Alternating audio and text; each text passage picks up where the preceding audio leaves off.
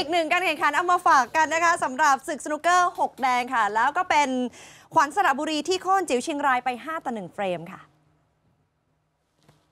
การแข่งขันสนุกเกอร์ 6 แดง ranking รอบคัดเลือกที่สโมสร TBC สนุกเกอร์เซ็นเตอร์ในซอยรามคำแหง 89 ทับ 1 โดยในรายการนี้ค่ะจะเฟ้นหา 16 คนสุดท้ายเข้าไปแข่งขันในรายการยูสนุกเกอร์ 6 แดงบุรีรัมย์คัพ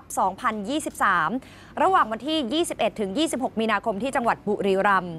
เมื่อวานที่ผ่านมาเป็นการแข่งขันในรอบ 48 คนค่ะ ใช้ระบบ 5 ใน 9 เฟรม และไฮไลท์เป็นการพบกันระหว่าง พัชระมาเยอะหรือจิ๋วเชียงราย พบกับมงคลจูยิ้ม หรือขวัญสระบุรี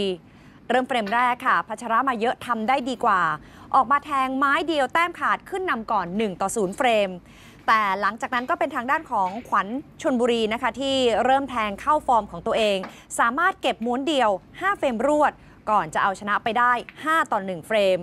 ส่งผลให้ขวัญชนบุรีค่ะ ผ่านเข้ารอบ